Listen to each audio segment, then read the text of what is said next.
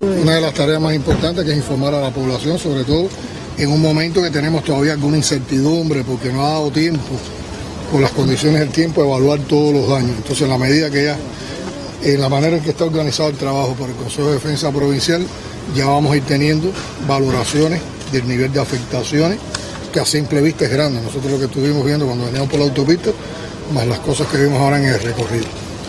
Vamos a ir ya sabiendo la magnitud de los daños y sobre todo la manera en que se va a ir organizando el trabajo para eh, recuperarnos el tiempo más, más rápido posible de todas estas afectaciones. Hay un grupo de ministros que vinieron con nosotros que se quedan trabajando aquí en el, en el territorio y, lo más importante, lo que yo confío sobre todo es que los pinareños tienen experiencia de, huracanes de este tipo, han sido muy golpeados durante varios años por este tipo de huracán y, la gente sabe trabajar, este es un pueblo educado, disciplinado, eh, sencillo y yo estoy convencido que, aunque el primer impacto es muy, muy doloroso, pero no nos queda más remedio que poner el pecho y irnos por encima de la, de la adversidad.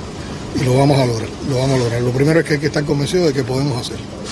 Y lo vamos a hacer y van a tener todo el apoyo del, país. Ya hay brigadas que hoy estaban saliendo de provincia, eléctricas, de constructores, de comunicaciones para ayudar también a las brigadas de Pinar del Río a, recuperarnos en el mejor tiempo.